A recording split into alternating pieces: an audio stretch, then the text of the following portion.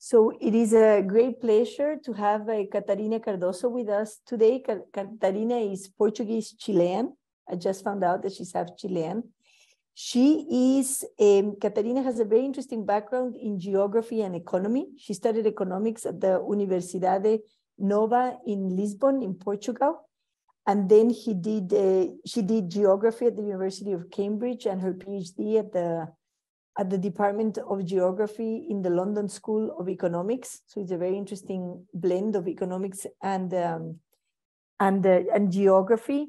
Right now, she's focusing more on energy policy and institutional, environmental, and behavioral economics, which is another fascinating topic. But she's here with us today because Catarina published this book titled The Extractive Reserves in Brazilian Amazonia, which is, I think, the best source in English on the Brazilian extractive reserves, is if any one of you is interested in learning more about them. And, um, and it's a great um, example, I feel, of how a forest can be managed sustainably, but at the same time, you know, provide a community-based economy and preserve the forest and actually maybe even enhance it. So it's a great uh, Pleasure to have you with us, Catarina. We would love to learn more about what you have learned about the extractive reserves and also what future you see for them. And with that, you know, I'm going to um, let you uh, share your screen. I'm going to mute myself. Well, thank you very much for inviting me. It was a real pleasure to be able to be here. And um, I hope um, I can share the screen. Let me just try.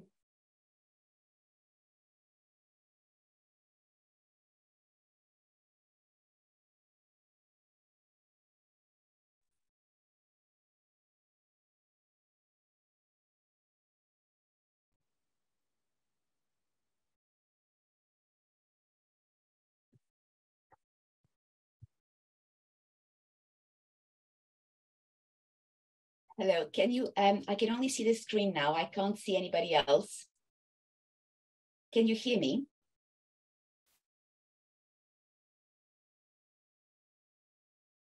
Yes, yes, we can hear you. Uh, okay. Oh, thank you. Thanks well, for letting me know. And can you also see the slides? We, no. we, we cannot see the slides yet. Sorry.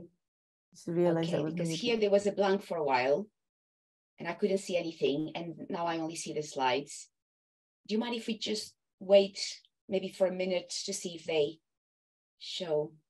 Oh, that's strange. You let me see. You so see you already shared your you shared your screen already? Uh, yeah. Oh, because I I can't see your screen. Can anyone okay, else see the just, screen? Okay. No. I'll just I'll just do it again. I've just done escape. Okay. Okay. I did try it out before early on, so I'll just and in the meantime, I'll make sure that you are co-host and that you're being able to share it. Uh, yes. It says here one participant can share at the same, or one participant can share at a time. And all participants can share, so that should be fine.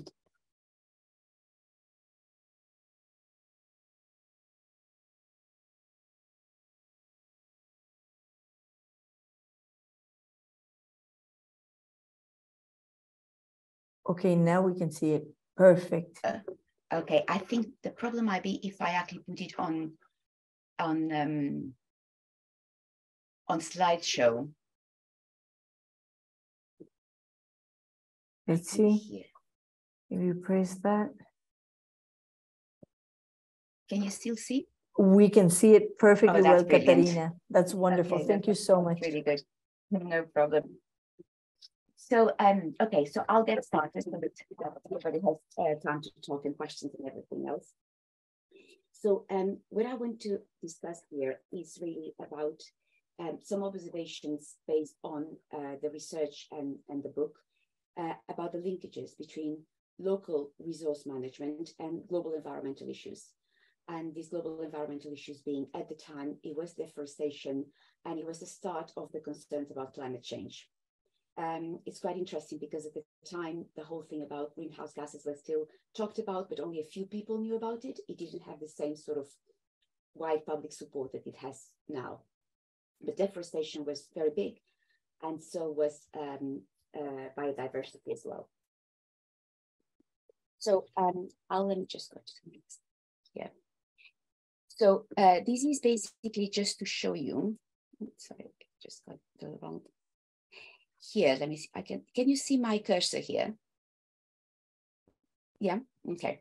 So basically, so um, this is just to show where. So this you can see um, Brazilian Amazonia is. Uh, you can see the line here that separates from uh, other countries, and Rio Branco is here. And so the reserve where I did the research is the extractive reserve Chico Mendes, and which is in the state of Acre. This here is the state of Acre, and somewhere there, just to locate. There are about 75 reserves in, in Brazil.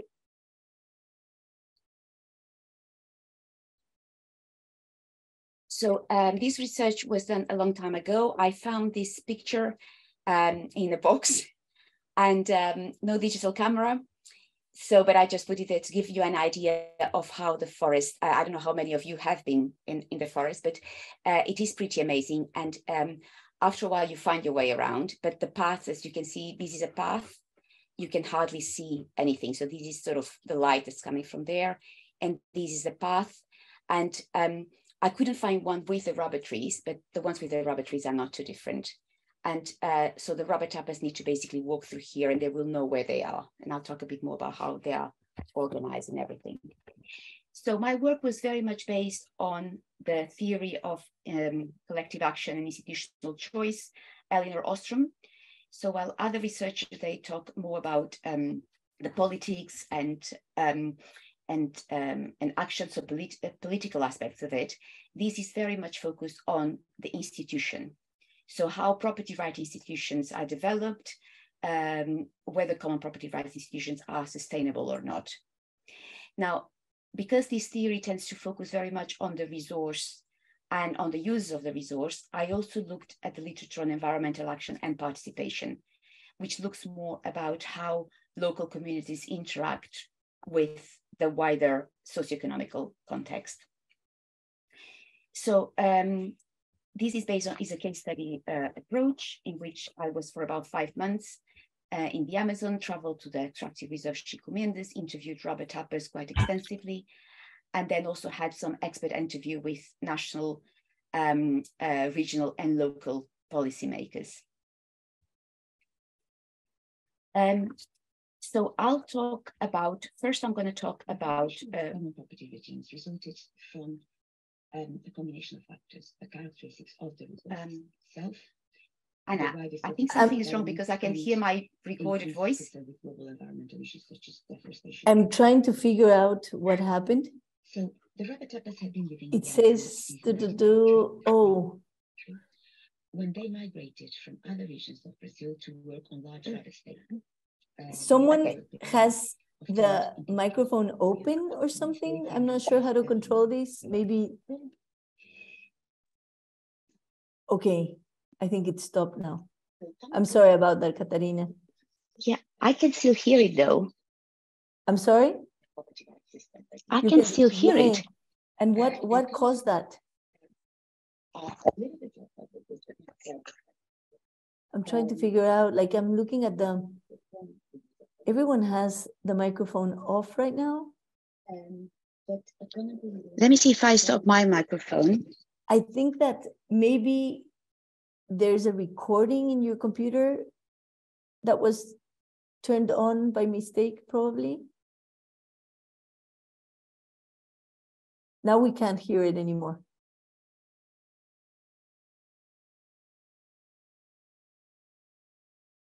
Okay. All right, um, apologies about that. So let me just um, go back. So yes, yeah, so I, as I said, so I'll talk um, a little bit about the rubber tappers and the development of the reserves. Then I talk about how is the structure in the extractive reserve Mendes. Um, and then I'll go straight in a way to the conclusions, which is the interaction of local, national, and international factors. Um, so, um, so the rubber tappers uh, basically it has they've always been uh, embedded in a wider context, and they arrived in the Amazon in the late 1800s uh, in the context of the the rubber boom. so basically, at the time, there was a considerable demand for latex, especially for the automobile industry. And, um, and so people from the northeast of Brazil, usually um, poor peasants without land, they arrived in the Amazon and started working in very large rubber estates under systems of uh, debt peonage. So basically, uh, they were like semi-slaves in a way, slaves because of the debt they had. Now, uh, in the 1920s, um, it was the end of the rubber boom for an interesting reason, which was that um, rubber plantations started to develop in Southeast Asia.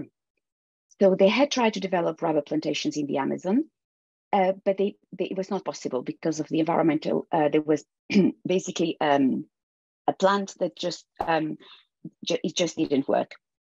Um, a plant fungus, but the thing is that uh, this plant fungus was not in uh, in East Asia, so there they could have the plantations, and plantations were much more profitable.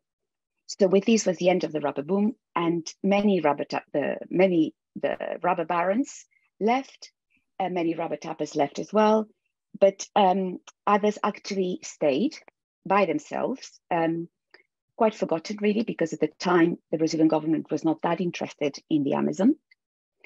And they started developing their own institutional arrangements to manage the forest. And so between 1920s and the 1960s, they were very much left to their own devices. They started developing common property based on the same system of uh, the rubber state. Now, in the 1960s, um, government policies uh, attracted newcomers to the region, not just cattle ranchers, but also um, um, people in search of, of land because land was freely available. Roads were opened very close to what is now the extractive reserve Chico Mendes, which, which basically saw the result of the rubber states being made more accessible and also um, there being so many incentives for more um, uh, other kind of economic activities led to um, many people arriving there and sort of um, and also uh, acquiring legal property rights because the rubber tappers did, did not have legal property rights while the newcomers they often did um, and um, so you had a huge conflict very very violent uh, in which many tappers just left because they felt they didn't have the rights to the land. And those that stayed were often expelled at gunpoint. So it was very very violent. Now, in about the 1970s, mid 1970s, started a peaceful movement of resistance, the standoff, uh, which actually saved uh, large amounts of, of forest. I'm thinking if I have here the, the number. Um, this strategy was very good. So, for example, one reference is that they basically about 1 million of hectares were saved just through these standoffs, in which rubber tappers will just stand and basically would not move until um, the, the people working for the new, uh, for the cattle ranches would leave. Then in the 1980s, you have the global um, interest or international interest in environmental issues, uh, and deforestation becomes very important. Um, there are some reports published, like one, for example, that says that the Amazon contributed 5% of carbon emissions, so there is concern with climate change. Uh, there is the biodiversity, there is the rights of local people, there is a different perception of local communities. They are not universally seen as the destruction as the destructors of the environment anymore, uh, but there is more and more voices that say, well, actually, they help preserve nature, which is um, of global value. So all in all, we have then basically the creation of the first extractive reserves in 1990. And then there are four phases through this. And uh, in total, as I'm saying, there are about 75 extractive reserves nowadays, uh, some of them federal, some of them state reserves all over Brazil. So this is the background. Now here, um, I wanted to show you this map. It was really difficult to get at the time, um, I remember. And, uh, and now this time trying to take the picture and make it look good was again a, a challenge. So I've made it a bit bigger because what I want to show you here is that um, basically, so this is the extractive reserve. As you can see, very large area. And the reserve is formed by several rubber states. So these were the former rubber states that were created in the late uh, 19th century. So each rubber state has about 130 to 700 square kilometers and with a high concentration of rubber trees. Now, each rubber state, here you've got the names of some of the rubber states. Now, uh, these rubber states, there's these limitations here, basically there are um, just on paper. In the forest, you can't really see the difference between two rubber states. They look exactly the same. Um, and they can be jointly used by several individuals, but only as long as um, the activities are don't uh, require the removal of the forest cover. So in that sense, they are common pool resources. I don't know how familiar you are with the term, but um, common pool resources are basically resources that can be used jointly, but only up to a certain point. So not like public goods that can be used jointly, point. They can be used jointly, but only up to a certain point. And they are normally very large, so exclusion is not impossible, like in the case of a public good, but it is quite difficult. So you have joint use and uh, up to a point and exclusivity problems. Now, the so these forests can be used jointly, and um, if but if too much latex is ex, um, extracted, basically the tree will dry up. So you need to also leave the trees rest. They need to have some periods of rest. Uh, the rubber tappers, they walk along the trails, making cuts in the trees, and then later collect the latex. So each rubber tapper in one of these states and now in the reserve, uh, they basically will have several rubber trails, which are the trails where they walk collecting the rubber. They'll have a stand. Uh, they have an area to process the rubber, and they'll have a house, and these the, the rubber stand. The trails are intertwined with each other, uh, so you can't really divide them. Uh, but the rubber tappers know perfectly well which trails belong to whom, and the trades they and the trails can be traded. They are not defined in terms of area; they are defined in terms of the number of trails and the quality of the trails, the rubber trails. Um, so basically, it is uh, indivisible the the the area. So if we now look at the reserve, we then have a common pool resource um, in which it is possible but difficult to exclude people from the reserve. So the boundaries don't correspond to a natural boundaries, uh, and they are not boundaries established by an informal institution because the institution was the rubber state, and uh, this extractive reserve has several rubber states. So there is no natural um, uh, natural boundary, no cultural boundary. Uh, is relatively arbitrary in a way. And the reason for having such a large area was because when the rubber tappers were fighting for their rights, they basically wanted to have uh, protect other areas from being exposed to the same situation. So they asked to have as much as possible inside the reserve, protecting fellow tappers who had not participated in the struggle. Um, the rubber tappers can they the trails are individual you can say they are private property but of course they can't cut them cut the trees off so they are private property as long as they use them sustainably um, and um, one thing is interesting as well is that the rubber tappers basically they live they are quite isolated and they are very concerned with their own state rather than for the area as a, as a whole so there is a mix of uh, a community feeling but at the same time this is my land kind of feeling that you would find in other places. So both coexist. So this is uh, to describe the, the area. Now, uh, I don't know how much time I have left. Uh, Anna, I think. We, we started like 10 minutes late, so I would say 10 more minutes. Okay, okay, although that's brilliant actually. Okay, so um, I think in terms of my thoughts about this, just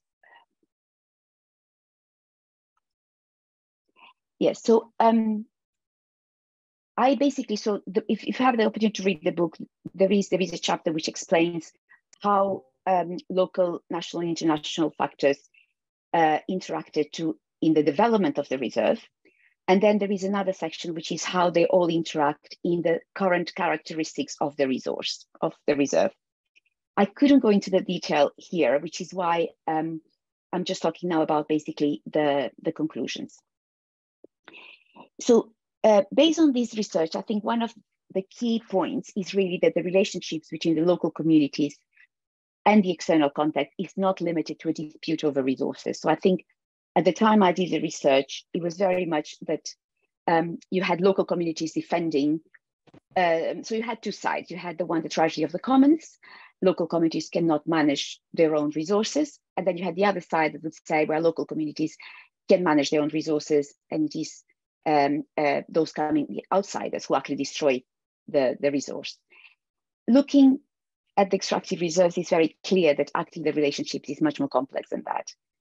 So the rubber tappers could not have developed their extractive reserve, for example, without, first of all, support uh, on the ground from, uh, from the church, the Catholic Church. Priests from the liberation theology helped very much in terms of, uh, for example, setting schools, in terms of uh, teaching about uh, social action. there was a union, which is sort of partly rubber tappers, but partly union from outside the, the reserves. Um, then later you have basically um, international agents as well, who um, they help in terms of, for example, campaigning for some development projects that were um, um, were quite damaging for the rubber tappers for them to stop. So by themselves, the rubber tappers could not have developed an extractive reserve and they couldn't have had um, uh, the, the protection they have now. So that was very important. And in terms of the development, the same thing. So um, on one hand, the development is related to the fact that there was demand for rubber, which is what brought them to the area in the first place. Um, the end of the rubber boom, basically the start of uh, rubber plantations as well, meant that they were able to develop their own um, uh, their own institutions. Um, a second factor that is very important in the establishment of the reserve is the actual characteristics of the resource. So the forest is quite unique in the sense that it is indivisible. So you can have different rubber trails, but at the end of the day, the forest as an ecological area cannot be divided. The moment you start taking out one part of it, the rest also gets affected. So it is indivisible. So it's not just that it provides um, an environmental service worldwide is also the fact that the forest itself on the ground, you can't really divide it. The resources are also, for example, water. Um, all the rubber tappers in a different stand, they may use the water from the same place. Uh, the same thing with um, um, fruit trees. So the, the characteristic, the indivisibility of the forest is really very important. Um, the regional context and the international trends. So um, one thing, for example, things like the start of democracy uh, in Brazil, um, and also the setting up of governmental agents with a very genuine interest in the protection of, of uh, these communities and in the protection of the Amazon, again, played a big role uh, in the area. Now, in terms of the future and the sustainability of the reserves, yes, to a large extent, it depends on the capacity of these institutions to set up the rules and um, um, various mechanisms necessary, like conflict resolution mechanisms, monitoring mechanisms, um, which basically ensure the sustainable use of the resource. And at the time I was there, these mechanisms were not very strong. So you had a common property institution, um, but the mechanism in terms of making sure that if there is a problem, how it is addressed, they were not very strong. The rubber tappers were living in a sort of, let's say, weak common property organization. And there were outsiders trying to encourage them to develop stronger rules and, and stronger mechanisms. But the thing is that these kind of things, they really need to come from the community. Outsiders can help, but if they develop them for them, they then the users themselves cannot adapt these rules. But the sustainability also of the reserves also depends on the economic opportunities available to the tappers. Uh, so the external context again, and this is really essential. and um, I did some reading in preparation for this about what's happening right now.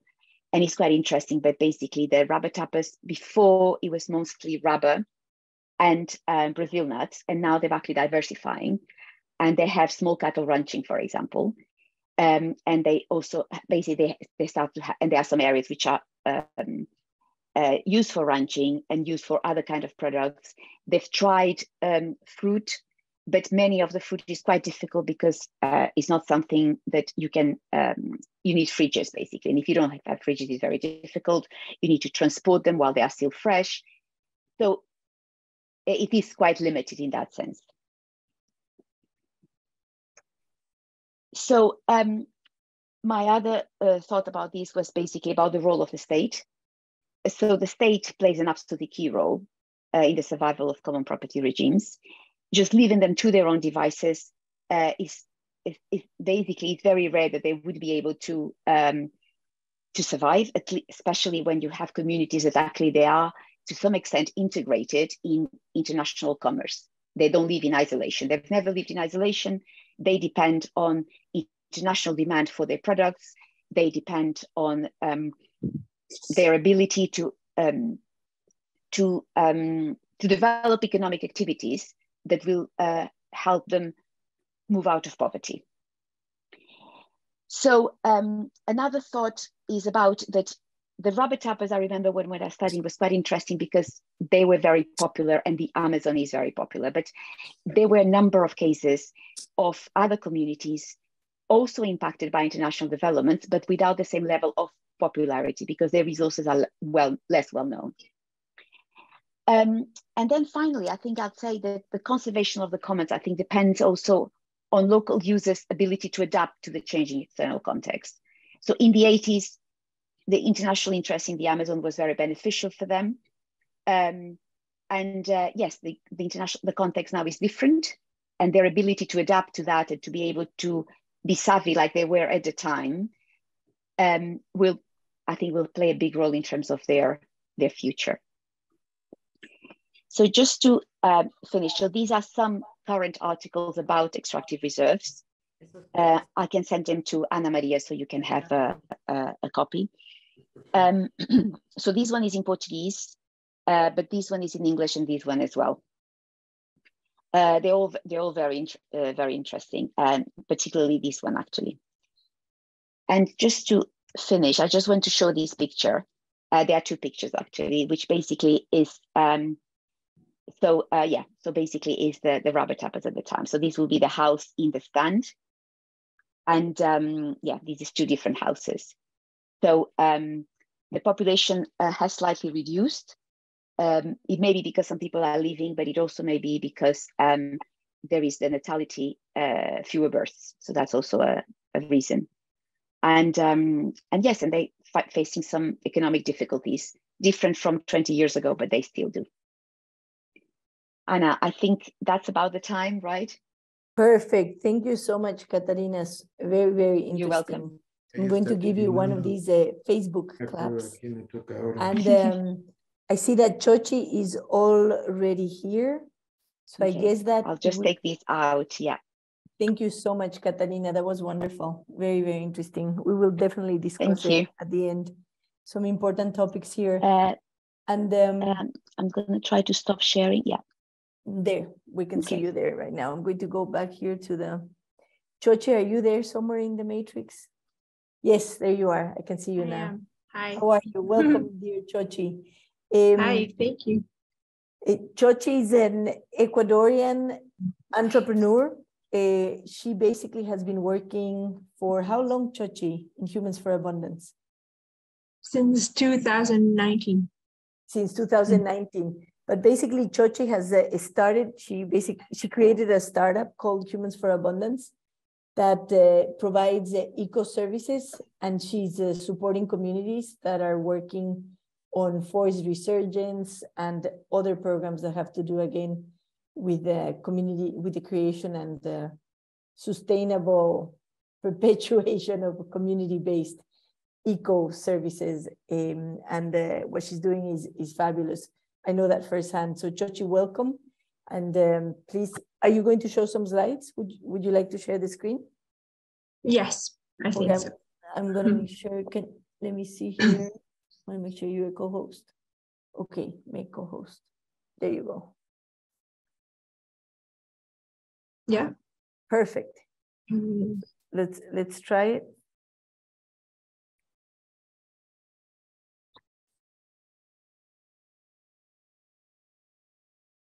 Perfect, we can see it. Yeah, there Yeah. you go. Rosa. Mhm. Thank you. yeah. Um.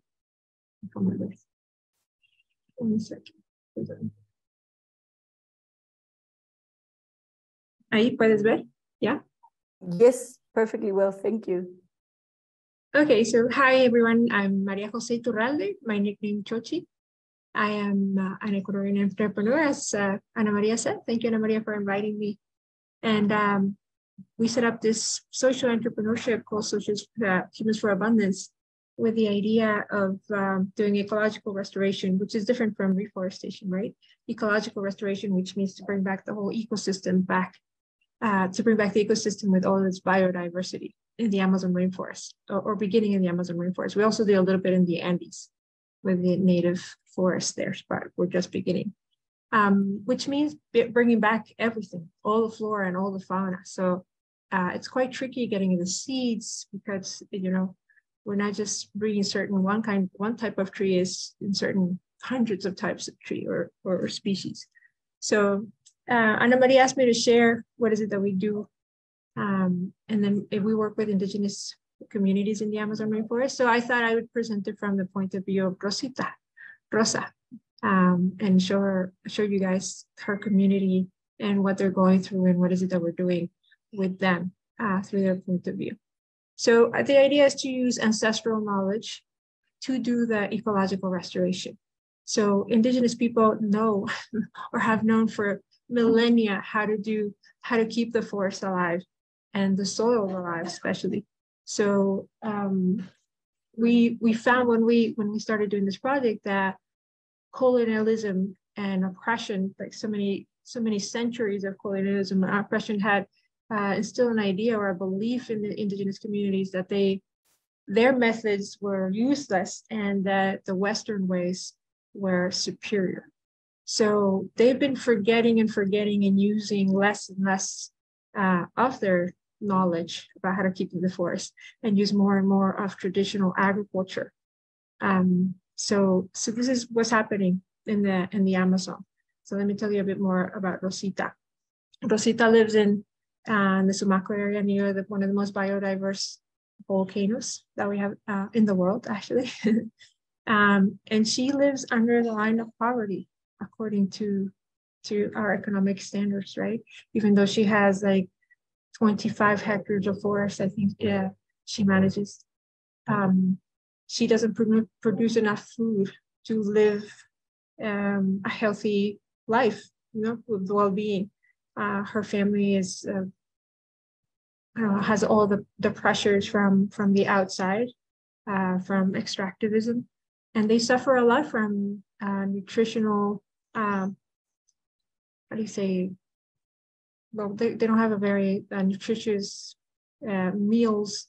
They only when we entered four years ago, they only harvested yucca and plantain um, and a few other things like uh, peanuts and pineapple but they didn't they didn't have a system for growing food in a healthy way.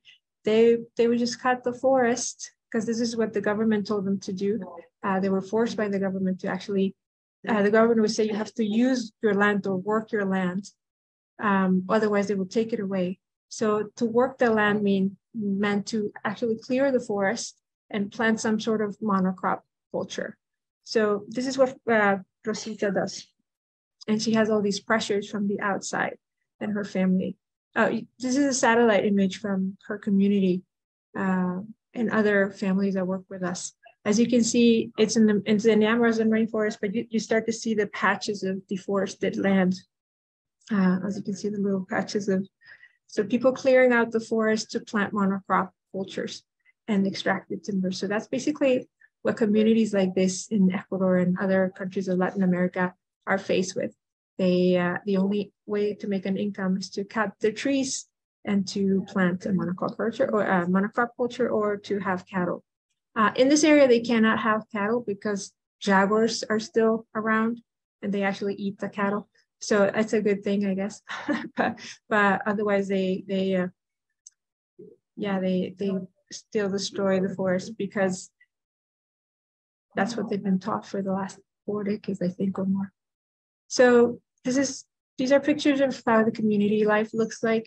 Um, they're, they're people who want to send their kids to school, like us. They've been very Western, Westernized, um, and and they need the resources to to send their kids to school, to have a to buy food from the trucks, because that's what they've been in the habit of doing instead of planting their own healthy food.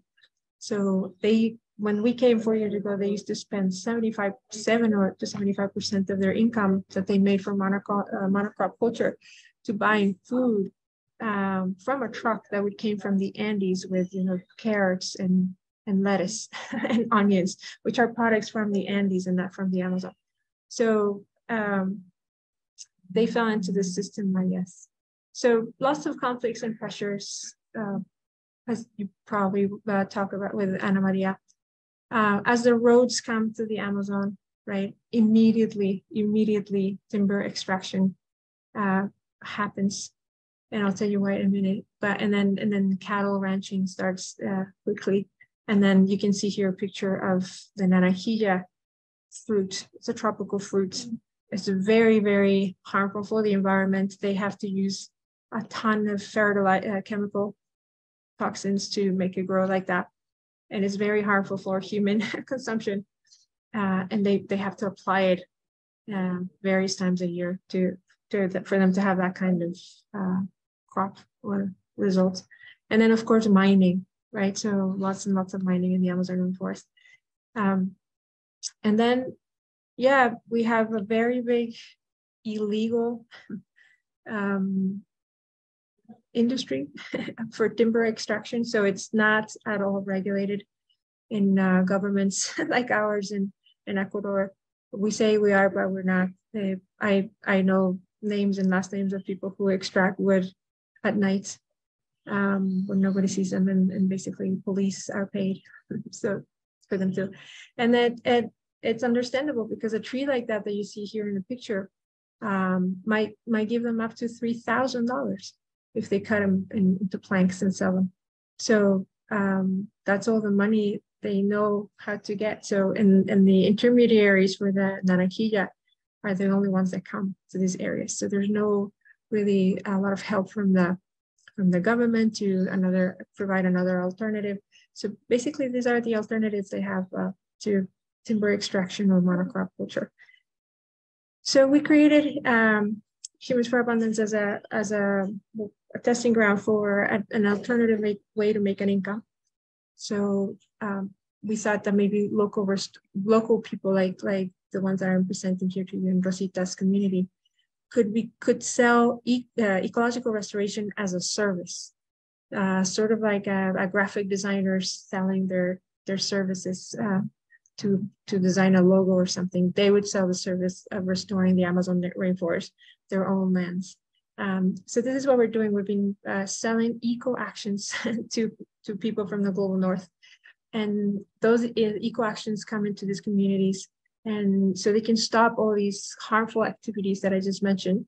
And they can turn their farms around and actually start rescuing their ancestral knowledge um, and their identity and actually start valuing what they knew before for th thousands of years uh, and rethinking or, or revaluing again what they what they used to know, uh, which was the way to keep the rainforest as a as a food garden, as a food forest, because they um, they used to grow the, the Amazon. Thousands and thousands of people, millions of people, I think it that used to live in the Amazon um, for millennia, as I said, and harvesting and, and, cropping trees that they didn't need and planting trees that they would need. So um, the most important, treating the soil because it's it's really bad soil for agriculture. So unless you have a forest intact, the, the water can go in and the minerals and the nutrients can stay in the soil. If you cut the trees, the soil is good for one or two years and then nothing grows because the rain just washes all the minerals away. uh, and all the nutrients. So um, this is a big problem in the Amazon because they they've been instructed to clear the forests without knowing that they're killing their soils and the, the microbiome in the soils. So we started having uh, workshops with them, like new conversations about uh, um, how can they they could they could turn into restorers uh, and become you know, proud entrepreneurs that offer this very important um, service to the world, which is to restore these essential forests that we need for our very survival. And we started talking about ecosystems with them and, and their own native language. And they scratched out um, our very Western world uh, way of seeing an ecosystem like a uh, as a system of you know living beings. They scratched out the word and then uh, they they put a better word or a phrase that says uh, Kausai, which means our living energy. So we started learning from them how they see themselves or humans as uh, just a tiny part of these of these forests and this living energy. They they see the energy in it. So uh, it was it was very inter- interesting for us to to learn and to see this vision and to start uh, celebrating that, so they would value it themselves uh, instead of valuing the Western ways as superior. So we started having these conversations with them and how we can uh, start applying this knowledge again into the chakra system, which they used to they used to have before. So here it is, uh, sorry, pictures of the proudest restorers um, doing a job that they actually like doing, which is restoring their forest and living in their forest, but actually making money from it. So um,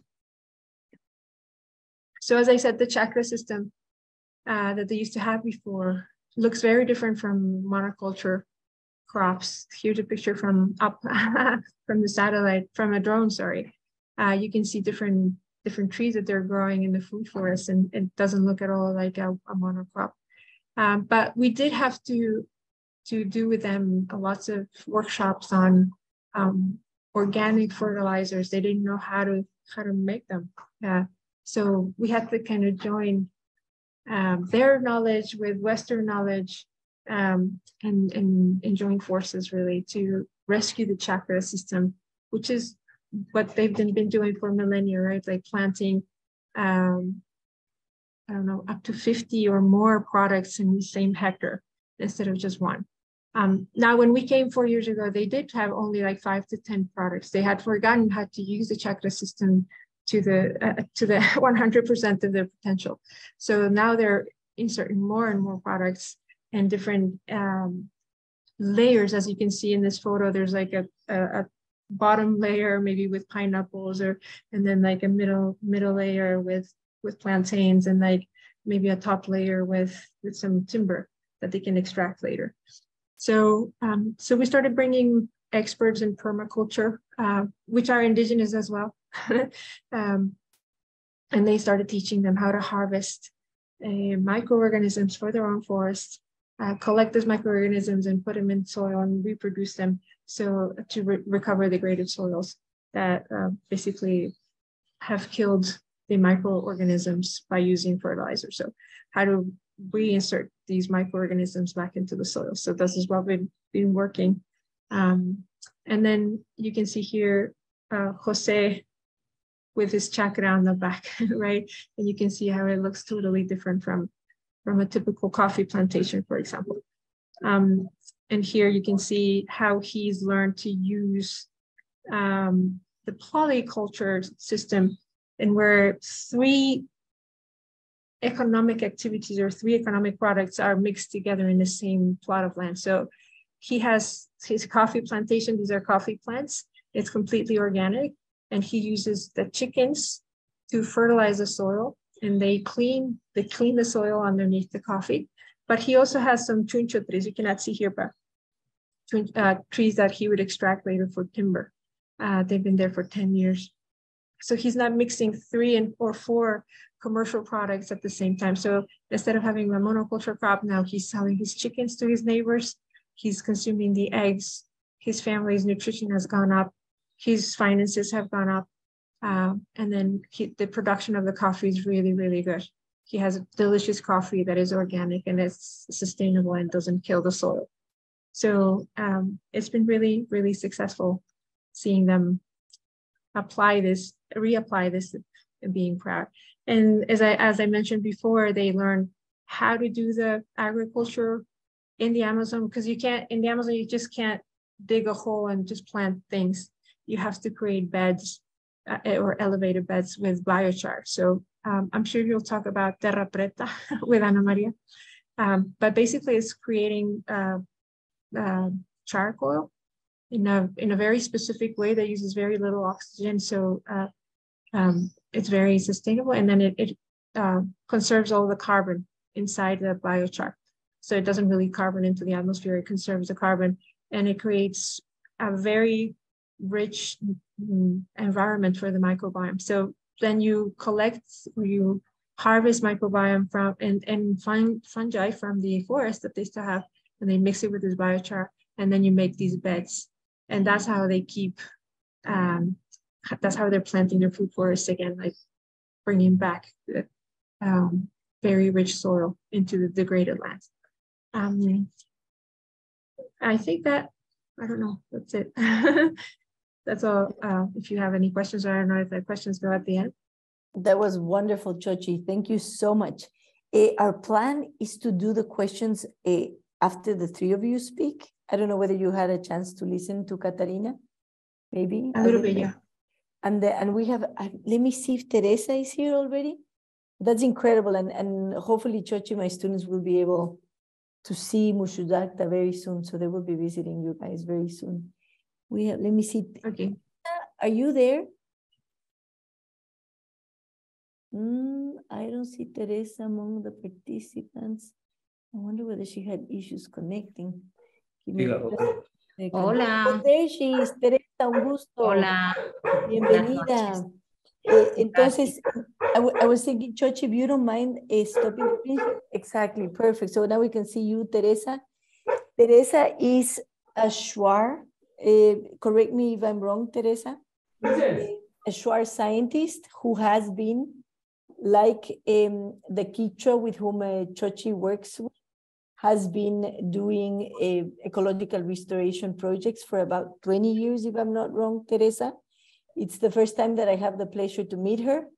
Eh, you will be, tú sí nos vas a dar la conferencia en español y tranquila, Teresa. Yo lo que voy a hacer es eh, traducir lo que vas diciendo en el chat, porque la mayoría de los estudiantes que están aquí no hablan español. Pero no importa, yo te apoyo con la traducción para que tú hables tranquila. Ahora, ¿quieren compartir la pantalla ustedes o quieren que yo comparta la pantalla y vaya cambiando los, las diapositivas? Sí recibí la, la, la, la presentación que me enviaste por Facebook. Sí, eso era por si acaso, tal vez podemos ah, desde acá. Ya, perfecto. Entonces déjame asegurarme, Teresa, de que puedes... que todo funcione. ¿Cómo, ¿Cómo apareces aquí? ¿Bajo qué nombre para encontrarte? Asegurarme que seas... Shiki. Te puedo ver como Shiki. A ver, quiero asegurarme que puedas compartir la pantalla. Ya te encontré. Sí, porque estás ahorita como que... Te voy a poner acá co-host por si acaso. ¿No deberías tener ningún problema? ¿Quieres intentarlo? Ya. Yeah. Perfecto. Y bienvenida, Teresa. Muchísimas gracias por estar aquí. Y, y, y, for the students, I will be inserting the translation into English. Please, I apologize in advance because translating from Spanish into English is very difficult for me. I'm not as good as Google Translate. the AI is better by far, but I'll do my best. Listo, Teresa, muchas gracias. Yo voy a apagar mi micrófono y voy a estar escribiendo acá. Ya. Ya puedo. Ya estamos intentando. Momento. ¿Sí ven la pantalla? No. No, todavía. Ah, uh, ya. por lo que veo, deberían poder compartirla. Vamos mirando aquí. Voy a intentar de nuevo. Desktop one.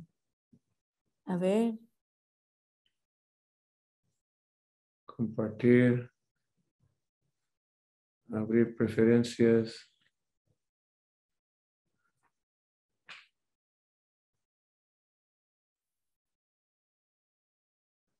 No sé, no, no está funcionando ¿No está funcionando? o no sabemos cómo hacerlo.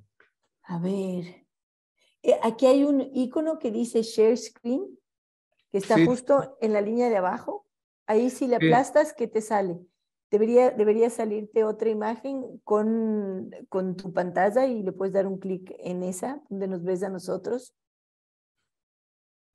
Sí, solo que no sale así. No, no sé. No te está saliendo así. Qué raro. Em, ¿Quieres, ¿Quieres que la comparta yo?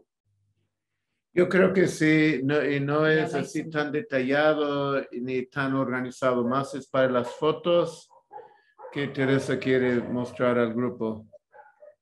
A ver, aquí está, me enviaste la presentación. Es si no me equivoco, no, no es esta.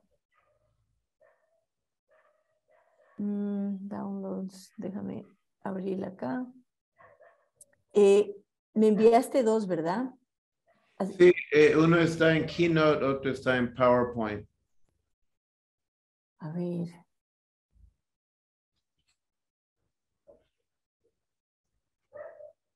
Perdón, estoy aquí mirando. List. Tururú. Charla de Tere para Ana. Key. Y acá la otra es charla de Tere para Ana PowerPoint. ¿Quieres la que está en PowerPoint, Teresa? Lo que más fácil sea Se para abrir. abrir. Ya, entonces lo voy a abrir en PowerPoint, ya lo estoy abriendo. Apenas esté abierta, la voy a compartir. Ok, acá está. Perfecto. Entonces aquí debería ser capaz de compartir esto.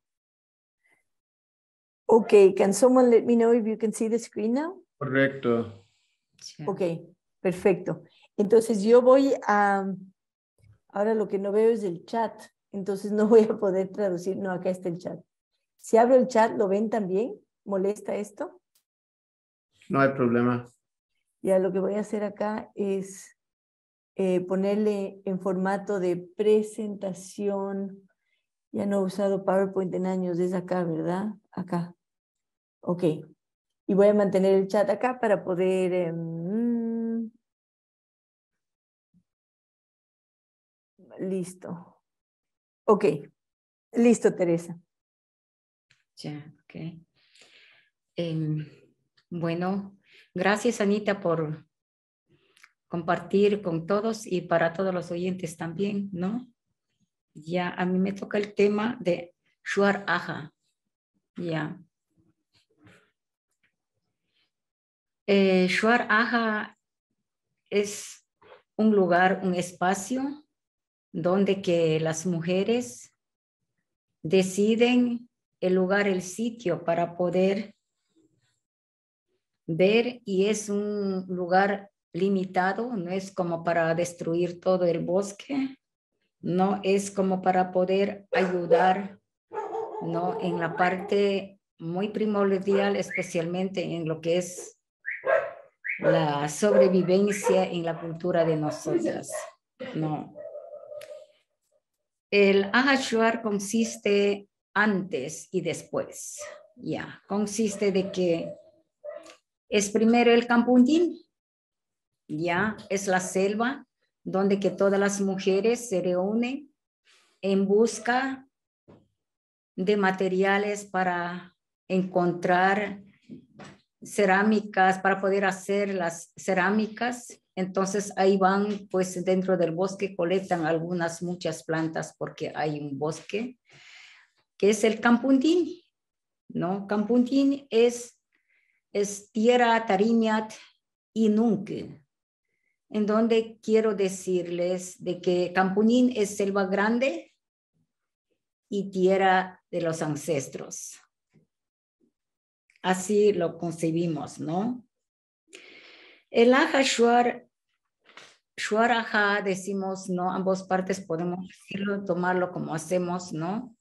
consiste en que es una huerta donde que ya, a ver, en el proceso, hacemos la aja, es la huerta donde que nosotros estamos queriendo sembrar, seleccionar el lugar, el espacio, sembramos los tubérculos, o sea, ahí hay todas las especies, las variedades que tenemos, en especial también las plantas que han sido ya, em, eh, muchas de las veces las plantas son silvestres, ¿no? Y son domesticadas por las mujeres, en especial porque las mujeres son especialmente los que seleccionan las semillas dentro como del bosque y del huerto también, ¿no? El Ahashuar es una huerta sagrada, ¿no? Sagrada decimos porque ahí se cultivan con la sabiduría de nuestros ancestros, de nuestras madres, abuelas. Y ellos son los que nos transmiten el saber con todo el anen, con los ritos sagrados, para poder nosotros que todas las plantas cultivadas sean muy fructíferos para que den mucha, mucha comida o, o, tengan muchas hojas para las verduras, porque mayormente son plantas que realmente traemos del bosque primario. Cuando hacemos la huerta Ajashuar, nosotros colectamos, domesticamos y cultivamos en esta parte en la huerta. Ya, la mayor parte son ya domesticadas, que ya se manejan en el huerto en Shuar Aja. Aja puede, se entiende también Aja Shuar, donde que se imparten los saberes y los conocimientos en el manejo de los huertos, en el manejo de las semillas. Como decir, nuestras abuelas son uh, guardianes de las semillas porque ellos lo guardan las semillas, selección, nos enseñan a seleccionar las semillas para poder sembrar para los tiempos que ya vienen en la época de la siembra. Ahashuar también es un lugar llamado donde que nuestro, las mamás preparamos la aja shuar para poder de que allí van a venir nuevas futuras generaciones. Es como decir, el shuar aja es donde que viene un bebé que va a nacer en la huerta, donde se cultivan las plantas para poder dar de alimentar a nuestros hijos y también para sanar nuestros males entonces, tenemos muchas diversidades de plantas para poder sanar cuando necesitamos poder usar las plantas, como decir, las plantas medicinales, plantas comestibles, plantas que son de uso cosmético, plan de muchas especies. La mujer Shuar colecta todo tipo de plantas Pueden ser tóxicas plantas que realmente son utilizadas para otro dado, para usos en especialmente para animales, para el ser humano y también se cultivan plantas para dar de comer a los animales que los domestican. Entonces, Ahashuar es un lugar, un espacio donde que la nueva generación nace y ya empieza a emprender sus actividades diarias y cotidianas. Ya, y podemos cambiar también. Eh, sí, puede poner el siguiente. Siguiente. Sí, ahí está. Bueno, aquí más? sí, ahí estamos hablando. Ahí está una madre donde que ella enseña a sus nietos dentro de la selva, está colectando semillas, está transmitiendo sus saberes, son nietos que realmente reciben no los saberes de la abuela. Entonces, eso, los saberes ancestrales son transmitidos de padres a hijos y a nietos. Entonces, eso es lo que le practica las mamás abuelas.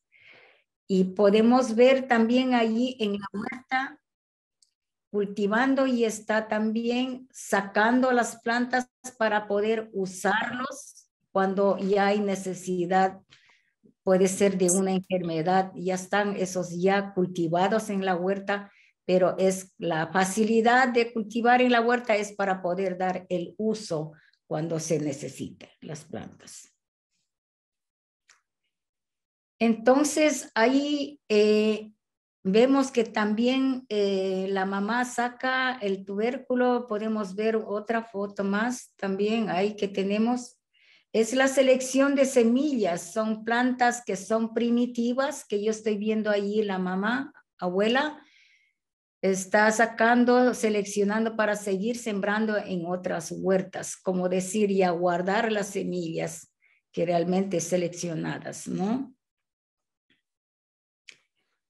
Normalmente, ¿quién es la que selecciona el lugar, el espacio para hacer la huerta, eh, Ahashuar?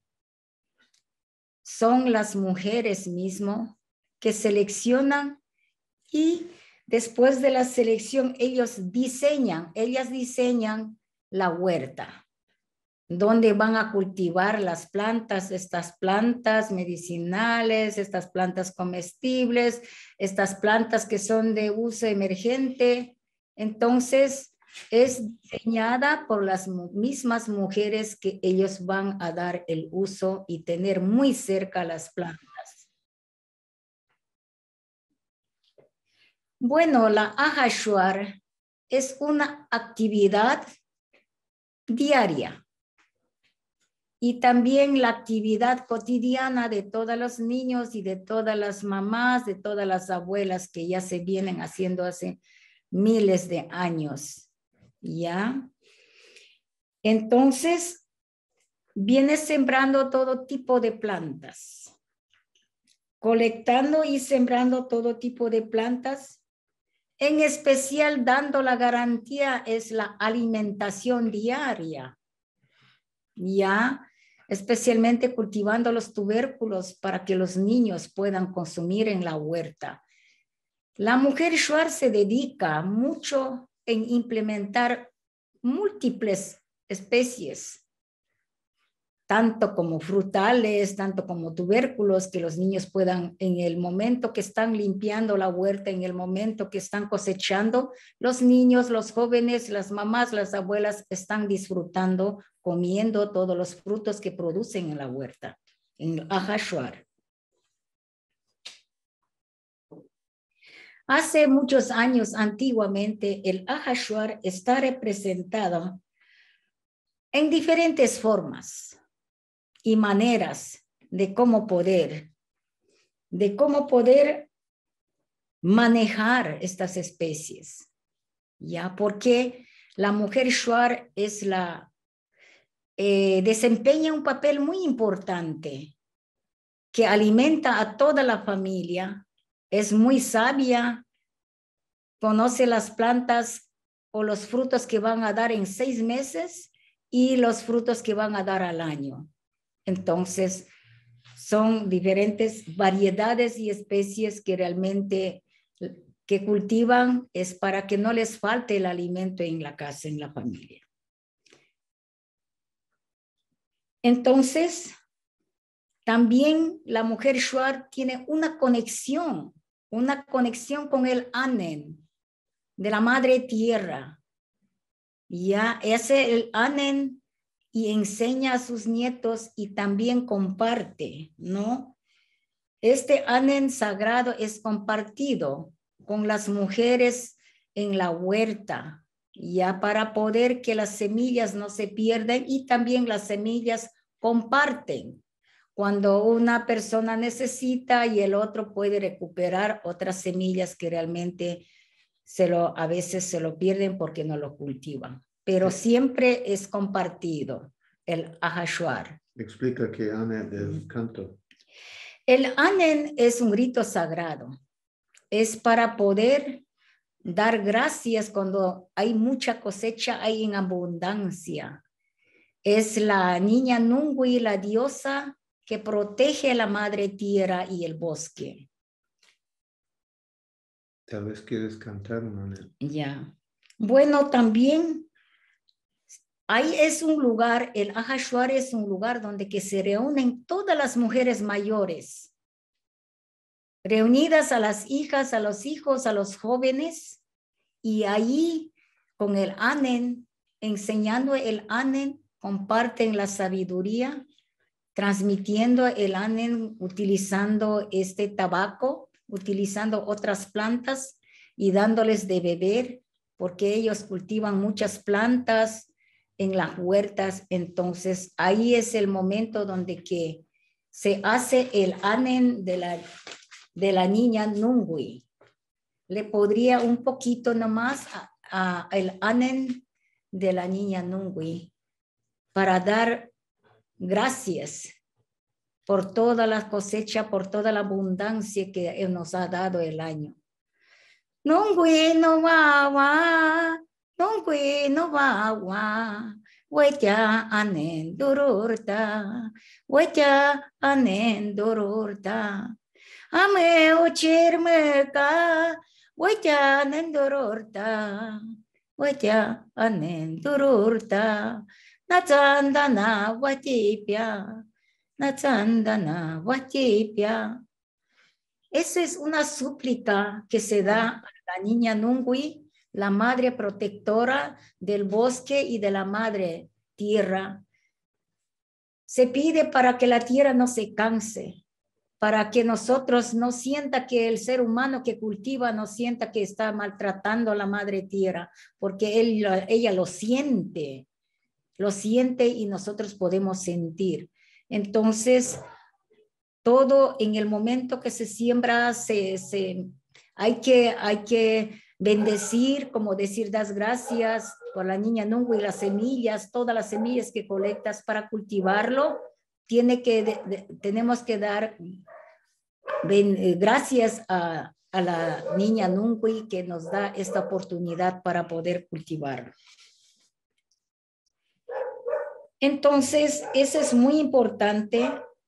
Por ejemplo, como les decía, de que el huerto, el ajashuar, es donde que un niño ya nace en el huerto. Ya, la huerta es sagrada, es consagrada totalmente. Cualquiera no puede entrar sin el permiso de otra persona porque ahí están las plantas sagradas, plantas que son alucinógenas, plantas que curan de los males del cuerpo. Entonces, por eso es tan eh, eh, cuidada y protegida los huertos de Ahashuar.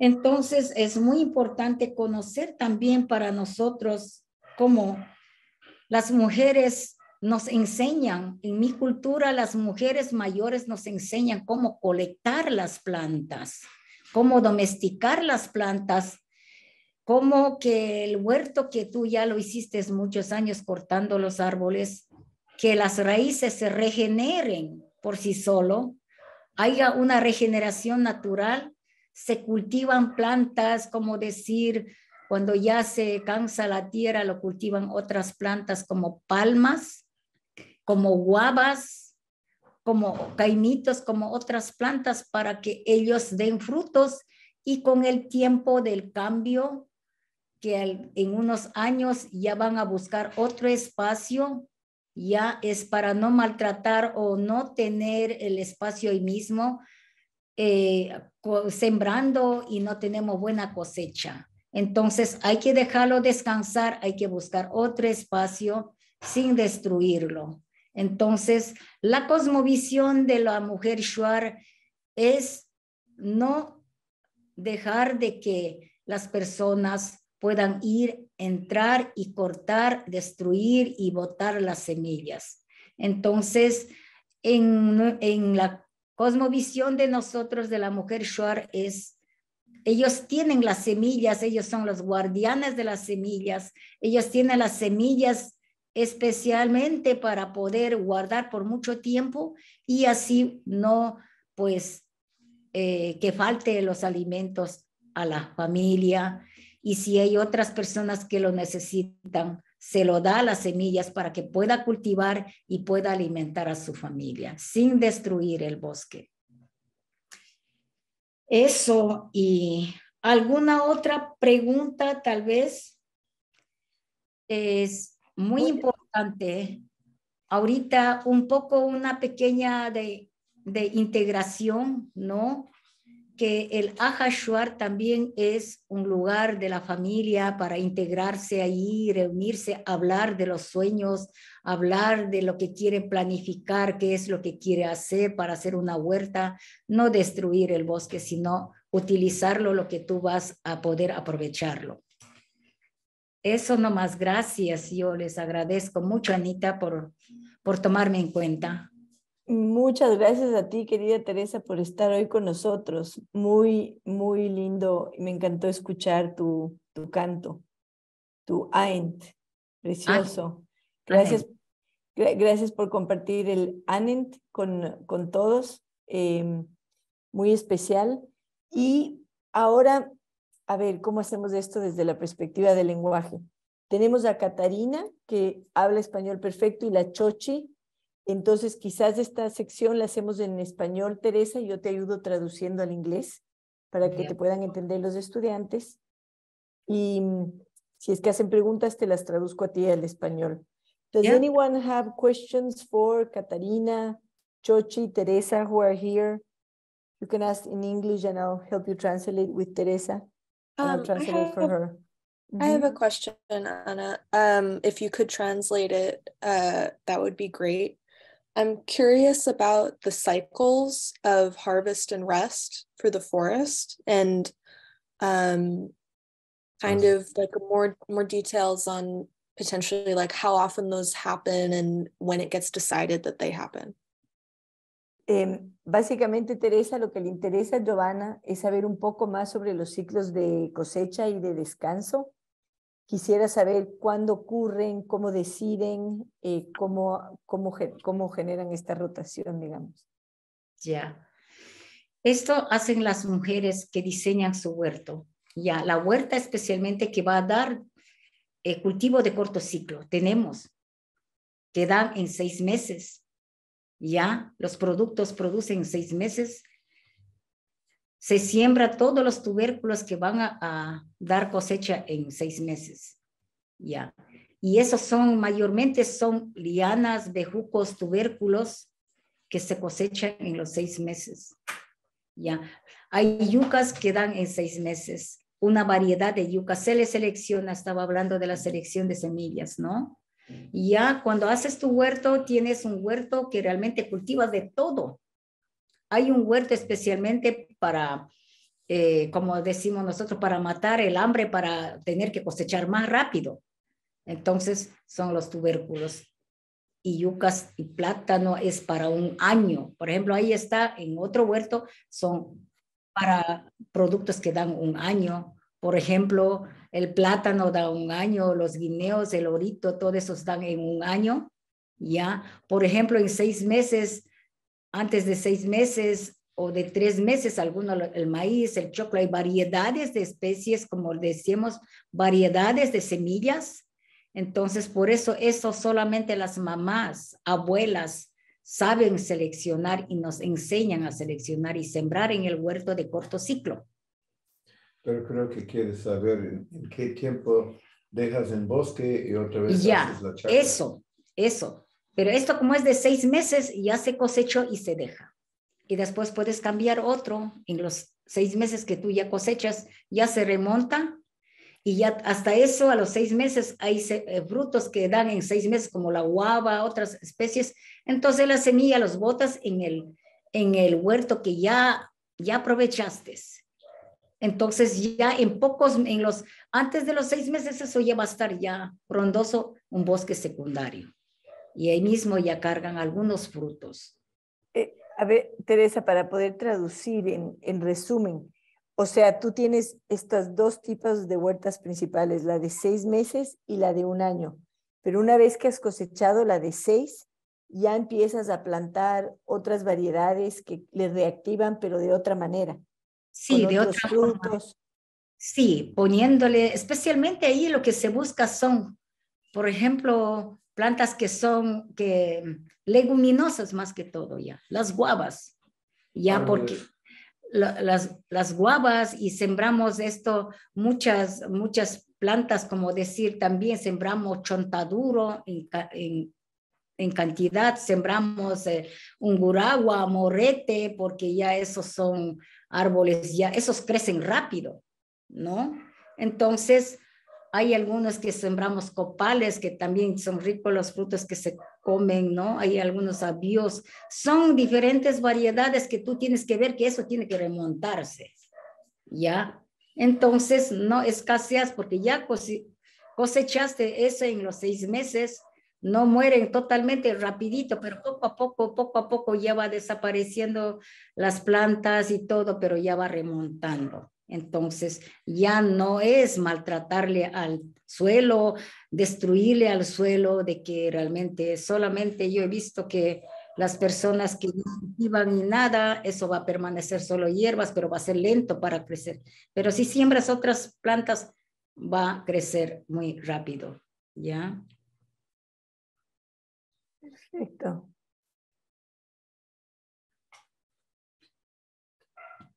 Another question, comment. It's interesting also, I think that we have had, you know, three fascinating visions, very different perspectives of a space that has something in common. I mean, the chakra, you know, it's this uh, common pool resource, if you wish, of the of the Quichua, this community garden that also is sacred. Um, the Shuar Teresa has spoken firsthand from the perspective of a woman who who plants chakras in her territory. And we've also heard Catarina, who's been looking at the rubber tappers and their common pooling of resources and their communal management of land uh, in Brazil. Um, and, and of course, uh, uh, rubber tappers can also be settlers and migrants into Amazonia. But it feels that there's something common between these three examples that we're looking at and maybe it would be interesting to you know try to find out a little bit more about how that works. Would you be interested? Any questions? Yes peter?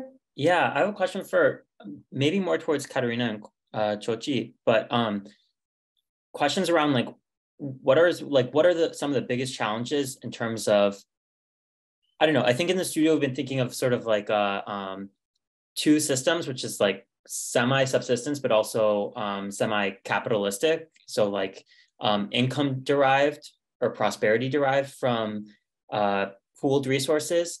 So, um, but then also um, prosperity from uh, the land itself. So I guess um, for uh, maybe the first question is like, what are what are some of the best strategies or methods towards actually ensuring prosperity from um, from the land, like stays within the community and isn't just like um, doesn't leave the community through like manufacturing or exporting these goods.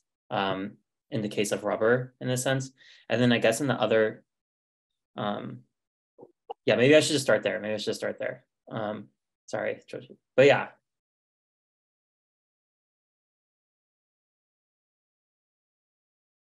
Hi. Um, yeah so let me see. So the question is that um, whether basically so you mean by when you say about the value staying in the community uh, do you mean in terms of their um, socioeconomic development or do you mean in terms of um, just being uh, separated from the external world? I mean um how like what if like what what in your research what have you discovered has been like effective uh like effective structures for the people who are actually producing the plants to like maintain the profits from their production um so mm-hmm. that they they actually can have wealth and it isn't just being lost and so then they can educate their yeah. children and things like that. Mm-hmm. Does that make okay, sense? no, that's a really interesting question. Yeah, yeah, yeah. No, I, I just didn't understand at first. No, I think that's really interesting. So they I mean, the short answer is that they haven't found many solutions. So they've tried a number of different things, uh, but they haven't found the solutions because what they produce um, depends on external bias, like everything. And um, it is so they have tried to set up cooperatives. There are quite a few external projects, both international and national and regional, to help them um, develop the systems and being able to trade all of that. But it is it is very difficult. So they haven't found a solution. That's why they are diversifying now. And some of that diversification is not necessarily good for the environment. Um, but yes, it is it is tricky. Mm.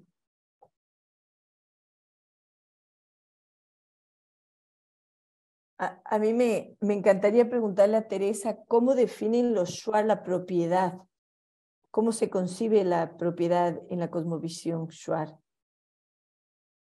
En la cosmovisión Shuar nosotros no somos dueños de nada nuestros terrenos. Ya, nosotros no somos dueños de nada, ni de las plantas, ni del sitio, aunque así nosotros quedamos en el sitio, en el lugar.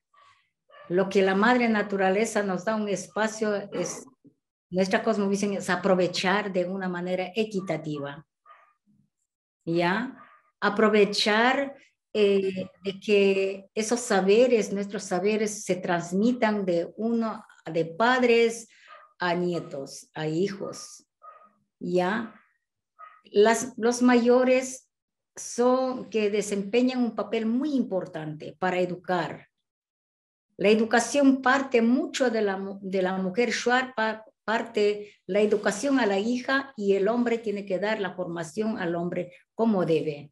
No, el hombre es em, artístico para poder diseñar su casa, para construir la casa. A eso él está preparado a hacer eso, pero asimismo nosotros, nuestra cosmovisión es el diseño de la huerta, la mujer ya ella es la que está no encargada, sino nosotros somos lo, como decir, para no para proteger al mismo tiempo, no no queremos destruir. Por eso antiguamente nuestros antepasados Venían en un lugar para colectar la semilla, los años que viven ahí, comen y lo siembran, lo dejan en sus huertos. Y eso quiere decir que nuestros hijos, porque en el sal nace en el huerto un bebé.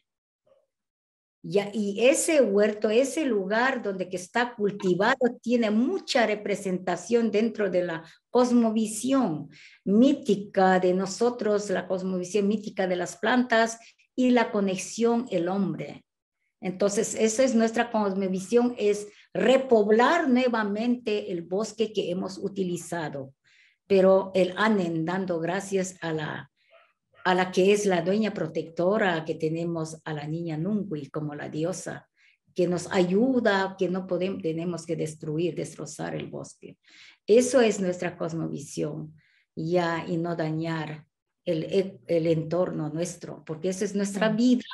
Ahí está nuestra salud, nuestra alimentación y nuestro, el mejor vivir en armonía con la madre naturaleza. Es la cosmovisión.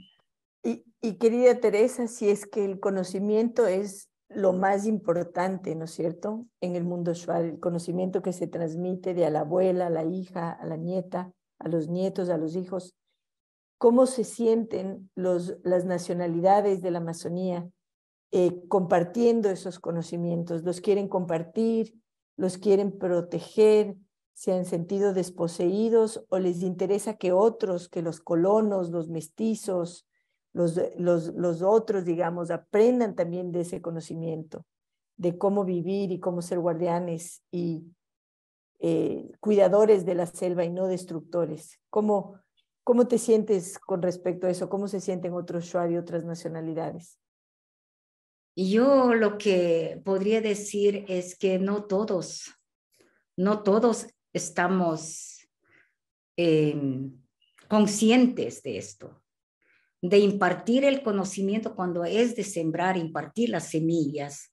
Eso no es un problema, eso no es un problema, pero para otras culturas es problema y para nosotros, qué mejor sería, bueno, ¿no? Compartir esos saberes, esos ah, ah, conocimientos para aprender a seleccionar nuestras semillas del bosque, como nuestras abuelas, ellos fueron los guardianes de las semillas de diferentes formas, yo no digo solo de pepas, puede ser semilla de tubérculo, porque ellos tienen, son sabias. No es cualquiera el que está en el monte, escoge las semillas buenas para traer y domesticar, para dar el uso, reproducir esta semilla para que otros sigan de generación a generación los hijos que puedan aprovechar pero en las otras culturas estamos muy cerrados. ¿Qué quiero decir eso? Hay egoísmo también, ya muchas de las culturas están entrando en eso porque realmente para mí si es de cultivar, sembrar, todas estas cosas, enseñar cómo poder eh, repoblar las especies, para mí no sería mezquino, ¿no? Yo puedo decir eso. Se podría hacer eso no solamente los indígenas, todos, ¿no? Ahí no vemos ni el color, ni el blanco, ni nada, porque en este planeta que ahorita estamos ya viendo todos los cambios que hay en el mundo, estamos sintiéndolo. Si no lo hacemos eso, ya venimos nosotros desde muchas futuras generaciones, no hemos hecho nada. ¿Y que no estamos haciendo nada? Absolutamente nada, solo estamos sacando, sacando, sacando, y nadie está educando, nadie está formando. Más que todo en el país, en Ecuador, no hay una buena formación, una buena educación. No hay para poner conciencia. Eso falta mucho. La educación sale en parte de las comunidades, en parte de la familia. Eso es muy importante. Eso falta mucho en las comunidades, que no se capacitan ya apenas es un taller, pero un poquito. No llegan a los estudiantes porque ellos son el futuro. No llegan a las escuelas porque ellos son el futuro. Eso es lo, lo penoso que realmente que hoy estamos viviendo en el mundo global. Es más bien estamos viendo la destrucción de nuestro planeta. Y bueno, yo a mi parecer pienso de que todos tenemos que aunar y poner una semilla, aunar el esfuerzo, pues para poder ver las mejores nuestro planeta. Muy bien. No, increíbles las tres presentaciones. Ahora yo no quiero abusar del tiempo. I don't want to abuse their time. The three presentations have been incredible, um, extremely fruitful, I think, for all of us. If someone else has maybe one last question, and then we we can let um, Catarina and uh, Chochi and Teresa go to eat dinner. Well, Catarina almost breakfast. Anyone? One last question? Uh, please, uh, Rachaya. Uh, wait. Uh, no, go go ahead. Go ahead. Sorry. Oh, I don't sorry. Um, maybe this is more uh, to Chochi. Um, just wanted, I, I'm very fascinated with the uh, strategy, and I think it might be some um, possible applications in, in many places. I wonder um, how uh, the restoration of these um, areas work or to what extent uh, the, the site could be restored. For example, are these sites uh, uh, just vacant sites or um, contaminated, for example, or um, it was urbanized? I, I, I think, yeah, I, I wonder how, how the system works and also how that a portion of restoring resources and also um, making income versus uh, the portion of uh, their own use. Yeah, so um, the, the idea with the startup is that many kinds of uh, restoration projects can participate. So even from the most degraded one to the, the one I presented in Shudakta, which is not too degraded yet. So they've cleared forests, but the soils are not completely damaged and the the reserve, the national park is right there. So the for that forest can come back completely, completely, because uh, besides from for the species that the humans will bring that we were introducing, uh, an assisted uh, restoration is called. The birds will bring some more, and the other animals will bring some more seeds and, and, and complete the ecosystem. Uh, but there are some other lands that take years, 20 years or more to, to restore. So it's hard work, and it's the only thing you have to do all day is go find the seeds, propagate the seeds, have a little nursery, um, treat the soil. Sometimes if the land is very, very degraded, it takes more than two years to just uh, restore the soil and the microorganisms in the soil. So uh, it, it does take a few years to restore depending on on what you're doing how degraded the land is. But the idea is that any any restoration project can work. And even if it's not restoration, any action that results in the restoration or conservation of the of the forest or any other ecosystem, because sometimes we have uh, páramo ecosystems, which are really, really important also for the world, but they're not forests. So our idea is to, to incentivize people to, to turn into this activity or, or, or turn their lives around so they can actually do this activity and receive a payment, as you said. So that's why we're uh, kind of being a channel or a bridge between these people who can do the restoration and the people who who wants to do the restoration but can't move to the Amazon or can't move to the Paramo because they don't know how to do the restoration. They don't know anything about that ecosystem, but they actually want to restore it. So uh, connecting these, those two people, we call them restorers and co-restorers. So they do, they join forces and they restore that piece of land. And that's how they make an income. Um, so that's a, that's how money is coming into them uh, to the community that we're working. Now it depends on how many co-restorers um, know about this and decide to support this, that we can expand to other communities. So we want to, we don't want to expand to many communities and promise them an income and then have two or three people paying, right? And it's not enough. So it's it, it's a matter of finding a balance of, of growth, right? And scaling up little by little as more co-restorers find out, then we go to more communities and more more ideas of, of eco actions. I don't know if I answered your question. Oh yeah, thank you so much. It's it's very helpful. But uh, uh, gracias, Teresa. Thank you, Catarina. Thank you all Thank for being here. Uh, and I look forward to seeing you guys on Thursday. Thank mm. you. Thank you very much for inviting me. Great presentations as well. Bye, Teresa. Adiós. Un abrazo. Gracias, gracias. Bye, Ana. Gracias. Chao, chao. Adiós. Bye, bye.